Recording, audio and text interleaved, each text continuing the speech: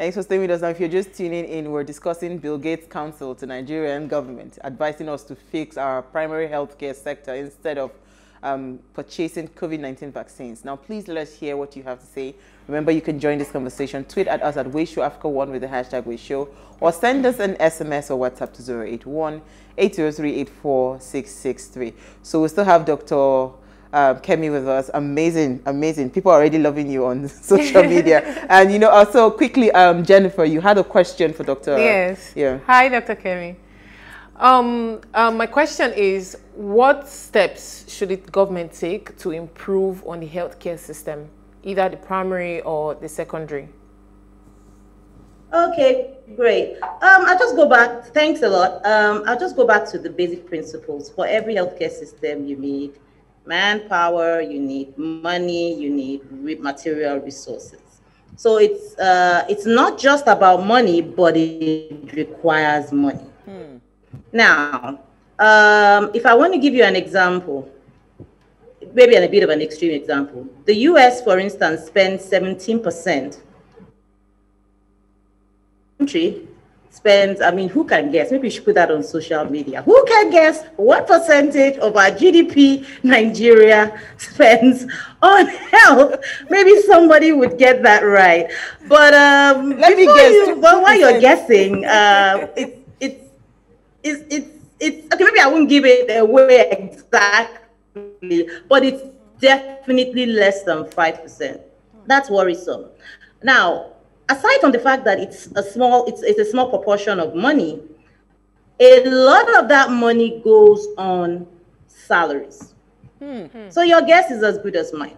Nothing. How much do we have left to make sure that our system works? Remember, we need manpower, we need money, we need yeah. resources. We need resources.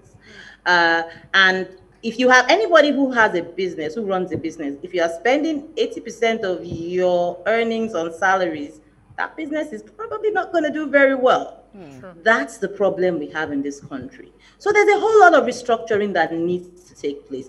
First of all, we need to increase that um, that uh, the amount, the proportion of um, uh, our GDP that we spend on health. So our healthcare spending needs to go up in line with international best uh, recommend best recommendations from um, nationally and internationally. Secondly, now what do we do with that money? If we spend, even if we spend 80% on health, and all that money goes into, uh, it's not me that said it, uh, but you know how the Nigerian factor can be. now, this is not me saying this, but um, that's going to be a waste. So we need efficiency in the system we need efficiency in the system. How do we make that? How, do we make healthcare monies count? How do we plug, you know, some of the excesses that are going on in the system? Hmm. Of course, the Nigerian government is trying.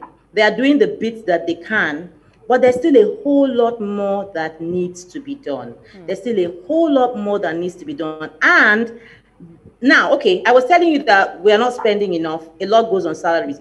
Of the remaining money that is left, how much is invested in primary health care? Mm. Those are the questions we should be asking ourselves. Mm. So when you have poor investment in primary health care, that's the same reason why you and I mm, would have it and probably malaria uncomplicated and then come to a teaching hospital and say, I'm looking for a specialist to treat my malaria, and that is a waste.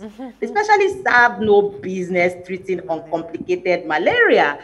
A fresh medical doctor who finished school one or two years ago can do that for you for free happily so why would a special why would you need a specialist to do that so so those are the fundamental uh, problems and um, if we can address those problems and we can and we can. One thing I do know is that we might not be where we need to be, but we are not where we were. We must remember that. Mm. We might not be, I mean, for instance, Lagos State has refurbished a whole lot of primary healthcare centers. Uh, I was in one of the, the, model primary healthcare centers a few years ago, and I was like, wow, I didn't even know this place was this good. So sometimes, you know, some of us might even need to just give the primary healthcare centers the chance. Go there, uh, and um, you know make up your mind if this is something that you know might be worth your while okay uh, or not. so i'm going to trust you and i'm going to try to visit one of the i mean maybe i'll visit the one closest to my house and let me just see for what it's worth. Try. You can find it. All right Isi, let's take your comments. Okay my comment okay uh, there's no name here though. I think it's uzo. Okay okay uzo says does the medical body have a central oh okay that's benson sorry. Okay so this is from Benson. He says, um, does the medical body have a central data information unit that gives the statistics of the different illnesses and morality? I, and he said this info should help the government plan the health care, shouldn't it? That's a question. Um, I didn't hear the question. I heard does the, does the government have a central body for information, but I didn't get what. Okay. Does okay, that the government does the. Let me take it again. Does the medical body have a central data information unit that gives the statistics of different illnesses and morality. Mortality, that's, I think he I wants think that's to say. what he yeah. wanted to say. Mortality. And he said this information should help the government plan the healthcare oh, system. Oh, yes. Oh, we do. We do.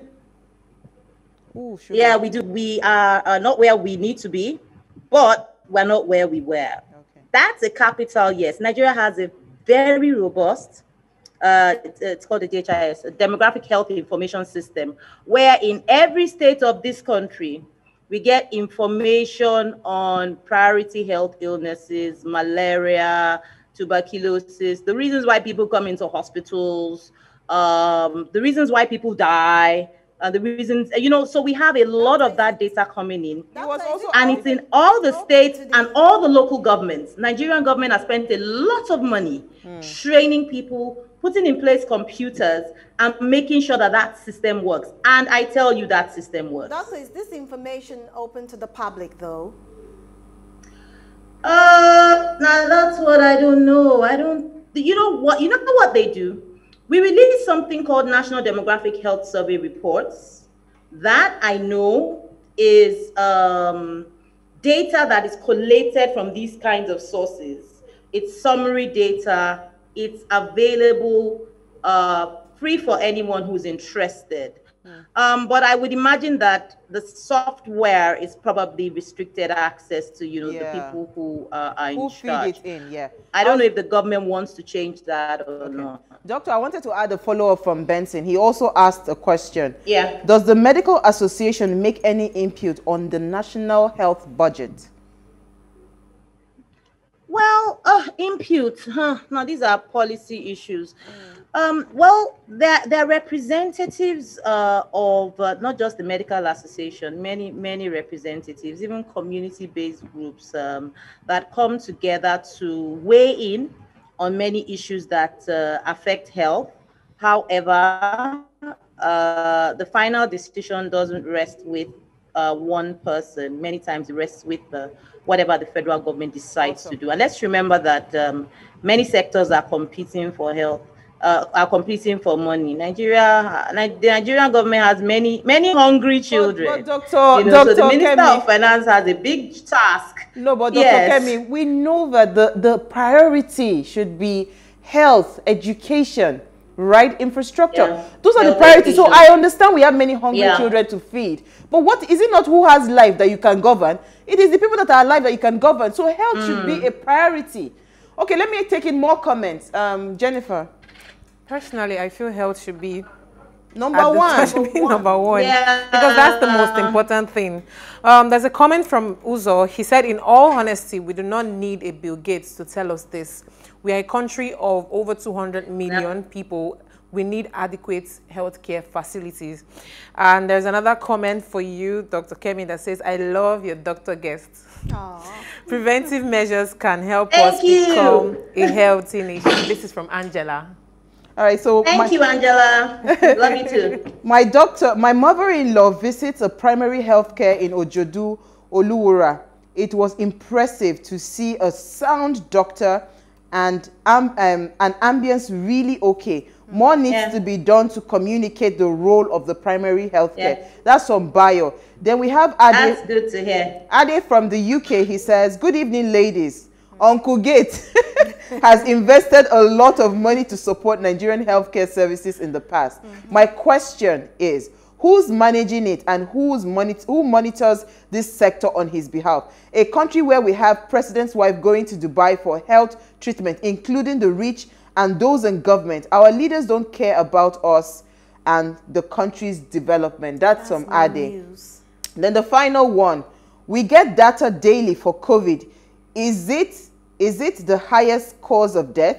If not, why are the others uh, with more numbers not displayed like COVID, like what you said about the um, uh, mortality rate for mothers, infant mortality, I mean, uh, maternity, mot how do they call that? maternity maternal mortality. Maternal mortality. you know, you people in medical sector, I run away from you people. maternal mortality and infant mortality rates, you know, those rates are really high, and we don't get the daily updates like we're getting COVID, right? People die of, they still die of malaria in this country. Yeah you know so yeah. I, I don't know how we're going to do this but if you had one thing to say in um for because we want to go back again to the primary health sector what do you think yeah. as the are the biggest thing do you say that um if we want to do like quick fixes right now um are we good on infrastructure can we manage what we have on ground or we still need to invest more on infrastructure for the primary health sectors um, thanks, thanks. A lot of questions, a lot of good comments. You know, I'm really glad that somebody said that he or she went to a primary healthcare center yeah. and was happy. Now, a lot of us, you know, have um, haven't even given the primary healthcare centers a chance. You know, and maybe if that if that's one thing that we might get uh, out of uh, having this conversation is, I mean, we're not saying we're not forcing you to go there, but give it a try uh, check your uh, local government. I'm sure there's a PH, a primary healthcare center around you. Try it. Uh, you might just be pleasantly surprised, like the gentleman who uh, said his mother, uh, mother-in-law visited. Yeah. So in terms of quick fixes, what do we need to do? Um, I think the government is doing something. Like I said, the primary healthcare centers are way better than they were. Uh, not quite where they need to be. So of course, we still need continuous investment and also making sure that the funds that are invested are properly utilized and managed. Mm. Yes. So it's really no point putting in a whole lot of money if that money isn't properly utilized and managed. Many of the PHCs in Lagos, I can tell you, have doctors, they have trained doctors Mm. Uh, they have trained nurses, so they have a good team on ground. Mm. They have a good team on ground. Uh, the team is usually they're very supportive, ready to work. You know, they're they're they're, they're good to be. They're, they're good. You'll be happy. You know, at least with manpower. So I think with manpower to a large extent okay. in the urban areas. Ah, let me mention this. in the urban areas, we're doing way better. In the rural areas, oh, I remember when I I did. Uh, I had to uh, go to some in the same Lagos. So we had to go by boat to one far place. I can't remember the name of the village in the same Lagos. And then, of course, as expected, the primary healthcare center there was underutilized, understaffed, you know, and other things like that. So, so there are some issues. Um, of course, in the urban areas, we're definitely doing better for. Okay, Doctor, before we, you, you have a question, right? Okay, quickly. I want okay, to ask doctor. some about COVID. okay, um, now talking about the um, talking about the health personnel at the um, primary health care centers, do you think that there is more that can be done in terms of their skills? Because I feel like one of the reasons why people hardly use the primary health care um, system or sector is because they are scared. They feel like um, they are not well trained or they cannot deliver on what they are supposed to do? That's a perception. Oh, thanks. Um, le yes, let me quickly say this. I think that's not just a perception. I think it's a wrong perception. Mm. Now, let's remember, 80% of the common illnesses can be adequately treated at the primary health care. You don't need a super specialist brain surgeon to tell you that your headache is due to malaria. Mm. Take coartem and ACT, take Panadol, mm. and you'll be fine in a couple of days. Mm. You don't need a super uh, uh, highly trained um, um, brain surgeon to do that. But you need a well-trained doctor who has gone to medical school for at least six years, who has done at least one year of house job, Mm. And at least what this is eight years of training. It's not a joke oh, to spend eight years in medical school, not in medical school, at least studying medicine. And we and we spend so much more uh, time. And then the other thing you need to remember, and I can speak for Lagos State, is they continually train their staff. Uh, I, am not sure about the other states, but I do know that Lagos State on continually trains their staff. So um, I would say give it a try. Give it a try. I, I, if I'm going to say something to all our viewers out here, give it a try. Make up your mind. Okay. Uh, you might be really pleasantly surprised. Okay, and that would be good for Nigeria because we do have under, underutilization. Doctor, we thought we were going to yank you off at 8.50, but we're having so much fun because you have to go back to yeah, your busy schedule. nice talking Yeah, we, because you have to go back to your busy schedule. Can you keep this answer a bit short? COVID-19, we want to go back to the topic right? Do we truly need vaccines based on how far you have treated, you know, people, you know, dealing with COVID? Do we truly need vaccines? Because I hear some people are taking some kinds of medication that is boosting their immunity and all of that. Yeah. Do we really need this vaccine? Is it really because 400 billion? It's not a it's joke. A it's mm. not a mm. joke. It yes, will do so much in the healthcare sector. So, do we really need to have these vaccines? Well, you know, what I would just say is as with anybody, I mean, for instance, you're trying to decide, do I spend money on clothes, shoes, bags, uh, do I spend money on? And so you have to ask yourself, what is the greatest need? Hmm. Uh, now, let us put it in perspective. COVID 19 is a need. Hmm? Yeah. I, I, I wouldn't say that COVID isn't a need, it's a legitimate healthcare need. Mm. It is killing people. It is overwhelming our healthcare system. It is a need. Mm. However, comparatively to others, comparatively, the question is if we had that amount of money, is that what we should spend it on? And I think that's the way we should look at it. Mm. So we definitely need the vaccines. We can't we can't take that away. But then considering the fact that we don't have so much money, healthcare spending is poor, there's so many other diseases, and then there's a healthcare system that needs that money. Mm? Mm. There's a healthcare system that if we invested that money in, we would we would save lives, maybe even more lives than COVID. I don't have the data, maybe. Mm. So then the question then becomes, how do we weigh that? How yeah. do we weigh that? So okay. I'll leave that yeah, so that's Can I we guess squeeze in final... one last question quickly? My director said no. but thank you so much. So, doctor, if you wanted to just allay the fears of fears of um, people in like in the minute, you know, how do you encourage people, you know, to go about um, COVID nineteen, you know, handling it in Nigeria? Um, well, one thing we know is that uh, while COVID nineteen uh, is here with us, but the preventive measures work. They really do work and they work better if we all do them. Okay. So let's remember that there's really no pandemic in the world that stays on uh, in a high forever um, the, the, the, the, the acute challenges that we have with covid-19 after a while they're going to go down we're hoping and praying another one doesn't come in but for now it will go down mm. so let's remember that this is hopefully uh, a time limited thing. Let's try to adhere to the NCDC COVID 19 protocols. Let's try to do what we can to stay alive, mm. keep ourselves and our loved ones healthy while we are riding through this storm. Absolutely. And let's remember that one day this mm-hmm. storm, this too shall pass. It, it will, will pass. pass. Thank you so much, Dr. Kemi. You've been an amazing guest. We hope to bring Thank you again. You, ladies. thank you so much. Thank you, ladies. Ah, thank you, ladies. Yeah. Thank we you. have run out of time. The director is in my ears.